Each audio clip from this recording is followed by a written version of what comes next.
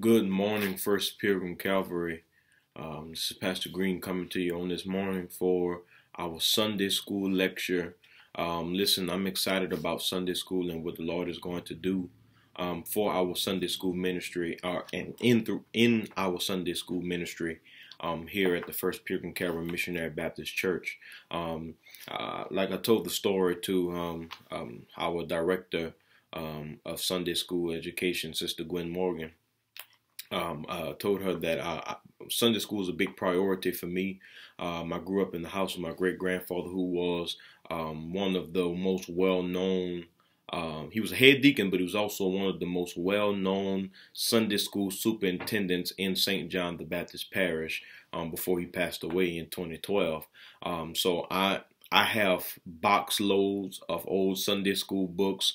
Um, um, I, I, I have memories of going to Sunday school um, as a child. Um, so Sunday school is going to be something that we prioritize here at the First Pilgrim Calvary Missionary Baptist Church.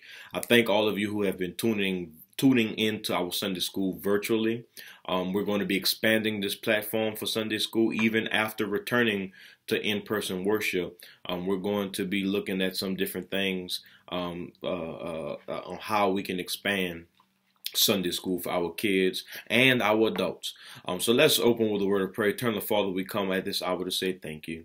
Um, Father, we thank you for this period of sharing, um, this time of fellowship, even virtually, God.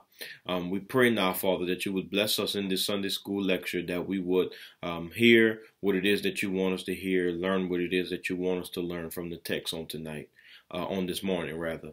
And when it's all said and done, Father, we'll be ever so cautious, ever so careful to give you the praise, the glory, and the honor. For it's in Jesus' name that we pray. Amen. Amen. Um, so, once again, we have a um, good lesson on today. On this morning, we're going to be talking about God's first instructions to Israel. Um, as we know, we've been dealing with the children of Israel um, for some time now um, in our Sunday school lessons, uh, and now they have reached the point. They have reached the point where they are arriving at Sinai. Um, they are arriving at Sinai. They are um, they are um, they've departed from Egyptian captivity, and um, you know the story of the children of Israel, how they went through that period of what I call wilderness wandering, um, so now they find themselves at Sinai. Um, so God is about to give his first instructions to them following their captivity and their arrival at Sinai. Um, so our, our, our text is found in the book of Exodus, chapter number 19, verses 1 through 9. That's Exodus chapter number 19, verses 1 through 9. A quick introduction. John Adams, one of America's founding fathers, once declared our Constitution was made only for a moral and religious people. It was wholly inadequate to the government of any other. Sadly, those who lack the moral base that comes from God and his revelation are often wholly irresponsible. They see freedom as an opportunity to take advantage of others, spew hatred, destroy property, or demand approval for any and every perverse idea that comes along. Doesn't that sound like a picture of our country today? That we uh we, we, we, we think freedom means that we can do what it is that we want. Yeah, but we have to understand that, especially when it comes to God, that freedom does not come without consequence. Um, the Israelites were at a crucial juncture in their history. They had been freed from the oppression of the Egyptians, but the law that God was about to give them would call them to responsibility. So here is the dilemma for the children of Israel. The dilemma is that yes, they've been delivered from Egyptian captivity. They've been freed from slavery. They've been freed from their bondage. But now what it is is that God, now the dilemma is that God is about to give them responsibility. Um, so tonight, uh, to this morning rather, this is um, I believe that that word responsibility is a great uh, is a great word for us to take into consideration um, because of the fact that um, uh, God has given us responsibility through His Word. Um, um, through through through his commandments through what he has written in his word god has given us some responsibility and for many of us, responsibility can be a dilemma. Responsibility can be a problem because to whom much is given, much is required. So um, on tonight, on today, we're going to deal with the children of Israel um, as God gives them their first instructions. He's about to give them um, the laws, the the law that um, that they must live by. So as they arrive at Sinai, let's look at Exodus chapter number uh, 19 and verse number 1. Verse number 1 reads, In the third month, when the exodus of Israel um, were gone forth out of the land of Egypt, they uh, the same day came they into the wilderness of Sinai, for they were departed from Rephidim uh, and were come to the desert of Sinai and had pitched in the wilderness, and there Israel camped before the mount. So, um, as we look at verse 1, verse 1 talks of how the Israelites arrived in the wilderness of Sinai, um, and they were in, it was in the third month after the departure from Egypt. In those three months, they had seen God deliver them from. So, so, so let's let's take a uh, let's take a, a, a let's make a checklist of all that the Lord has done for them to get them to this point at Sinai. So, number one, excuse me, uh, he, he delivers them from the Egyptian captivity, something they had prayed for for years. They've now been delivered from the hands of their uh, uh, oppressors. Check. Uh, they've seen God part the Red Sea. He delivered them from the Red Sea. We know the story of how they were running from Pharaoh's, from Pharaoh's army, and only thing that was before them was the Red Sea. And Moses, it was Moses who stretched out his rod, and uh, it was through the power of God at work through Moses and his rod that the Red Sea was parted, and the children of Israel were able to pass through on dry land. And not only were they able to pass through on dry land, but their enemies were consumed by the same um or by the same sea. We know that story. So they've been delivered from Egyptian captivity. God has met them uh, um, um, at the Red Sea. Uh, uh, but then also uh, uh, they they they uh, he, he delivered them from um, the Amalekites and uh, uh, uh, uh and and they and they and the the force that they met, were met with um from them. Um, they also they had also witnessed God's miraculous provision of food and water for them. God has done so much for the children of Israel at this point that they are at now at Sinai. Um, for, uh, from their initial point of departure in Egypt, they had traveled about 300 miles. The last leg of the journey took them about 12 miles south of, uh, of Rephidim uh, uh, to the desert area um, that was before the mount. The water God gave them at Rephidim probably continued, um, and the manna continued to provide them with food. So, uh, like I said, they, they've reached a point now where, like I said, they've been freed from their from their captivity. They've been free from their bondage. But not only that, God has provided for them every step of the way.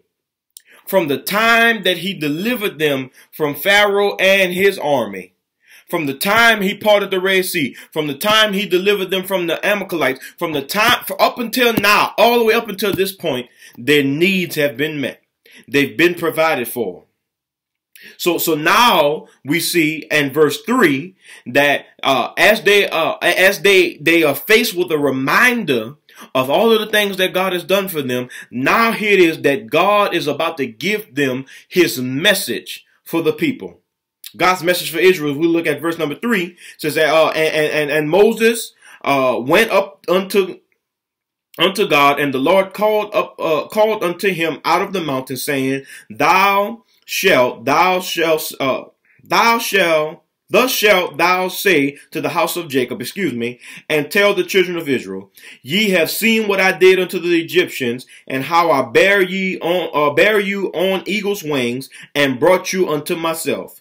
Now therefore, if you will obey my voice indeed, and keep my covenant, then uh, then ye shall be a, a, a peculiar treasure unto me above all people, for all of the earth is mine, and ye shall be unto me a kingdom of priests uh, and an holy nation. These are the words which thou shalt speak unto the children of Israel. So God has given his message. He's given his message to Moses to bring back to the children of Israel. He's basically tell basically to sum up what God has told, uh, what, to sum up what God has told Moses, he's basically telling him that if you keep my commandments, if you keep your covenant with me, if you will obey my voice, then there's a blessing with your obedience, uh, for your obedience. There's a reward for your obedience.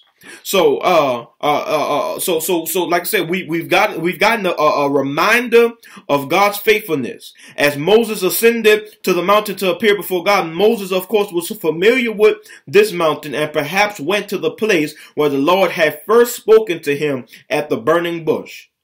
God spoke again to him there on the mountain, giving him a message to relay to the people below. Interestingly, the law referred to the people as the house of Jacob and the children of Israel. The two phrases are synonymous, reflecting a po poetic nature. Moses was his his duty from from God's message was to remind the people of uh, of their deliverance by the Lord. Specifically, they were to remember what He had done to the Egyptians. This refers to the plagues that humbled Pharaoh, the people, and the gods of Egypt, and eventually brought about Israel's release. We might think of it somehow, uh, somewhat uh, surprising to hear this reminder when the events the Lord spoke of should have been fresh in the Israelites' mind since they had only occurred three months before. However, with every difficulty along the way, the people were ready to turn on Moses and even return to the slavery of Egypt um, uh, as if they had completely forgotten what the Lord had done for them. So we, we know that aspect of the story as well as a reminder of how the children of Israel, as they wandered in the wilderness, um, they, they got, they got to the point to where they were frustrated with Moses and frustrated with God. And they were ready to return back to Egypt because they, they had the mindset that, look, at least when we were enslaved, we had a little bit better than this. They, they, they lost, and I hate to, I hate to interject this point in there, but they lost faith in the process. They lost faith in the process that God had them in on the way to their promise. My, my, my, that's powerful for somebody here watching on this morning that you should never lose faith in the process. Uh, that is that because the process is essential, uh, uh, in, in reaching the promise.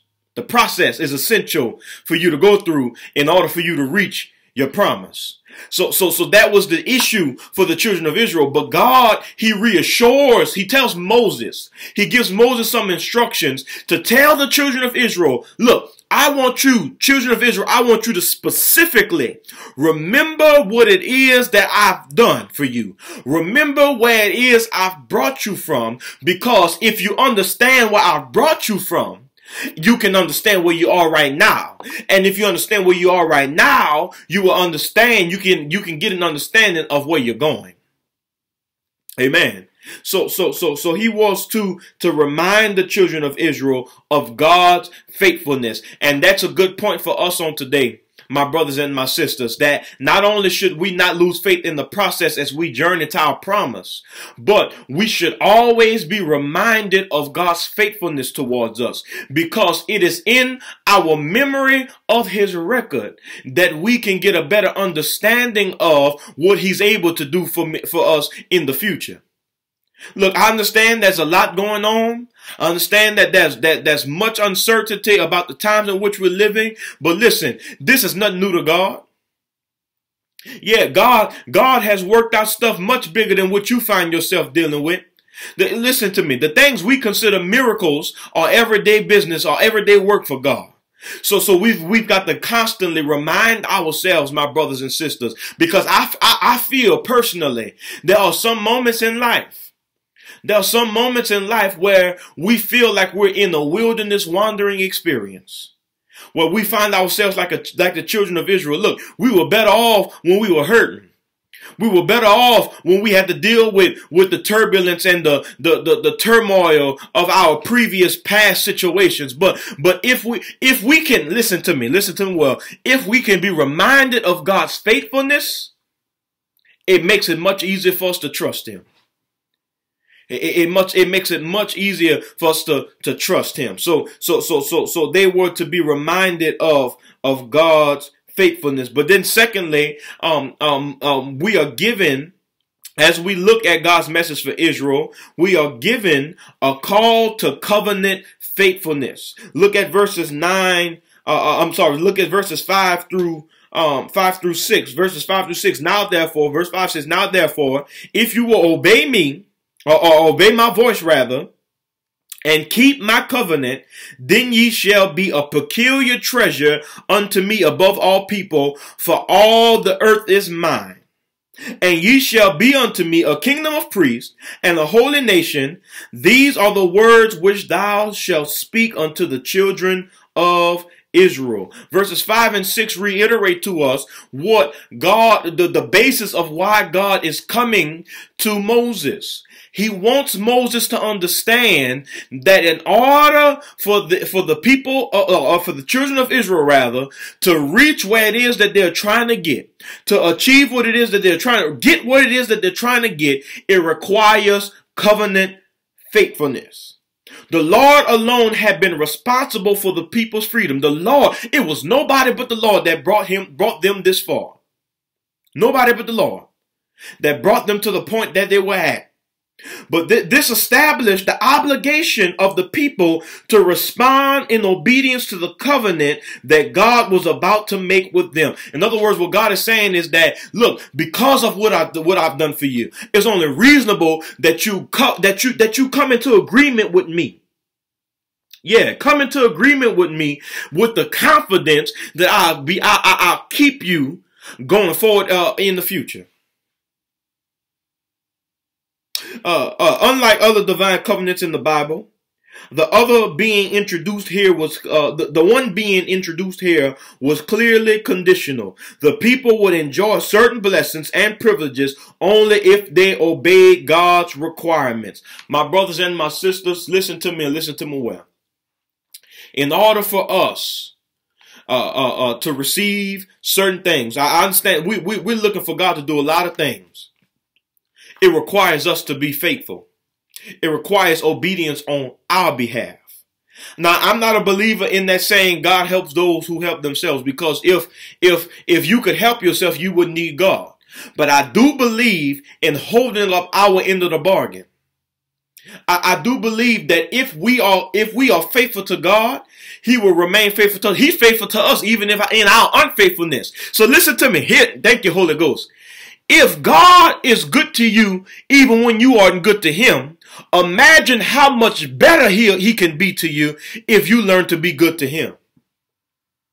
If God is faithful to you when you ain't doing right, imagine how much more faithful, uh, imagine how many more blessings you could see. Uh, imagine how much more prosperity you can see if you would just be faithful to Him, if you would just be obedient to His will and to his word. But but but like I said earlier, that this was the this was the the the the the the the uh the issue, the dilemma for the children of Israel. Because they're, they're about to reach a point where where they find being faithful to God is hard sometimes. That, that's where they find themselves. So, so, so we, we have a reminder of God's faithfulness, a call to covenant faithfulness. And then now, now we're about to see, uh, uh, Israel's commitment to the Lord. Look at verse seven. Verse seven says, and Moses came, to, uh, came and called for the elders of the people and laid before their faces all the words which the Lord commanded him. So Moses relays the message that he has for the children of Israel from, from God. Uh, verse number eight. And all the people answered together and said, All that the Lord hath spoken, we will do. And Moses returned with the words of the people unto the Lord. And the Lord said unto Moses, Lo, I come unto thee in the thick cloud, that the people may hear when I speak with thee, and believe thee forever. And Moses told the words of the people unto the Lord. So so so a promise made, a promise made, promise made. Uh, verse verses seven and eight. Uh, the the the, the children of Israel, uh, uh, with the words of the Lord, had uh, uh with the words of the Lord, uh, with, with the words that the Lord had given him, Moses returned to the people. This pattern continues in the following chapters as Moses goes up and down the mountain, hearing from the Lord and conveying his words to the people. This would further establish him as Israel's chosen, chosen leader and God as their true king. Upon his return to the mountain, Moses gathered the elders around him and set them before uh, set, set before them all that the Lord had said.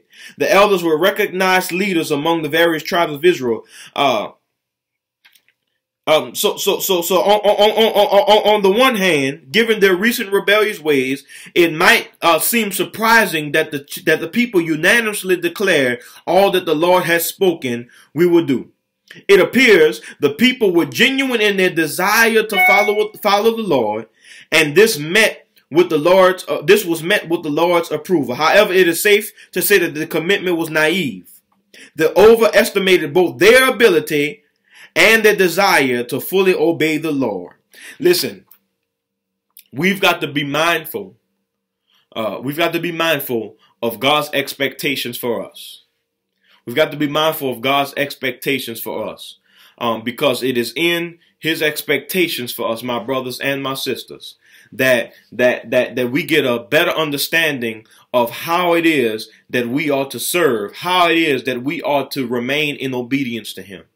The children of Israel, they find themselves in the position where they, they, they that, that, that, that they've made a promise to God. They've made a promise to God, but it is serious. Listen to me. It's serious. When you make a promise to God, that's serious business. When you when you make a promise to God, it requires you to do it do so with the understanding that listen, obedience is always better than sacrifice. So so so so it was it God will always bless you in your obedience. God will always bless you in your obedience. Um, and, and, they find themselves, the children of Israel, that is, they find themselves in the position where um, they, they've made a promise to God um, with the understanding that if they uphold their bargain, if they uphold their end of the bargain, if they remain faithful to God, that that's, there's going to be some benefits. Uh, uh, and now we see a promise delivered in verse 9. Moses Moses' purpose was to formally deliver the people's response to God, a formal, I mean, affirming their desire to obey Him and be His special people. Before he could uh, deliver the people's promise, however, the Lord spoke to him. The Lord said he was going to come to Moses in a thick cloud. God's presence had already been manifested in the cloud that led them through the wilderness. But apparent, apparently, it would appear uh, darker and thicker, and the people would hear the Lord speak to Moses from the cloud. This looks looks forward to the Lord's appearance on the mountain when he spoke to Moses so that Israel could hear. Uh, this act would affirm Moses' leadership and prophetic office and give the people confidence in him so that he spoke God's word to them. There would be no doubt about the uh, uh, uh, of their authenticity. The people of Israel committed themselves to obeying the Lord and serving as his unique representatives on earth. My brothers and my sisters, um, um, I, I, believe it is important for us to, to serve God, uh, um, to, to, to continue um, to, to, to be mindful of what God expects from us and, and realize that when we fulfill our expectations, when we fulfill his expectations for us, rather, that it comes so with reward. Uh, uh, God, God, God, God, God's, God, as God's people, we should always trust him to keep his promises. Uh, uh, uh, and, and, we should always remember what God has done for us. As when we remember what God has done for us, it strengthens our faith. It strengthens our faith as we as we wait for what He's going to do in the future. Uh, uh, uh, we should also number three says, uh, uh, uh, and we're, we're looking at our practical points. Is number three says God's people should demonstrate to a watching world that they belong to the one true God through their obedience. That's another powerful point. That it is through our obedience that we show God our loyalty. We can't say we love the Lord but live a life full of disobedience. Every chance you get, you should you should strive to to fulfill to fulfill God's will for your life and live obedience uh, uh, or in alignment with His plan for your life. Um, number four, God uses His people to bring hope and salvation to a dying world. Number five, commitment to the Lord, to God's word unites His people and gives their lives meaning. Number six, God reveals uh, Himself to those who will trust Him. Eternal Father, we come now just to say thank you. Father, we thank you for this day. We thank you for this time of sharing. And um, we pray, Father God, that you will bless us in our parking lot service uh, in, a, in, in about an hour, God, that you would allow us to have a hallelujah good time in the word. Allow your word to continue to fall on good ground, that we would take it, hide it in our hearts, that we might not sin against you. And when it's all said and done, Father, we'll be ever so careful to give you all the praise, all of the glory, and all the honor. For in Jesus' name that we pray. Amen Amen. God bless you, First Pilgrim Calvary. Um, I look forward to seeing you all in about an hour here at the sanctuary. We're going to be in the parking lot again. Um, please, um, my brothers and my sisters, let's stay tuned. Like us on Facebook. Like us on Facebook. I'm posting um, a lot of updates uh, concerning the church on Facebook. Um, follow us at First Pilgrim Calvary Missionary Baptist Church. Search the whole church's name on Facebook, and you will see a gold icon with the church's logo. Um, that's our official church Facebook page. Subscribe to our YouTube channel. Continue to copy the link to these videos, share it with your friends, co-workers, relatives, so that we can get the word out that there is a reality in serving a true and living Savior, and that we are about our Father's business here at the First Pilgrim Calvary Missionary Baptist Church. Well, family, I love you. I'm praying with you. I'm praying for you. God bless you and God keep you is our prayer.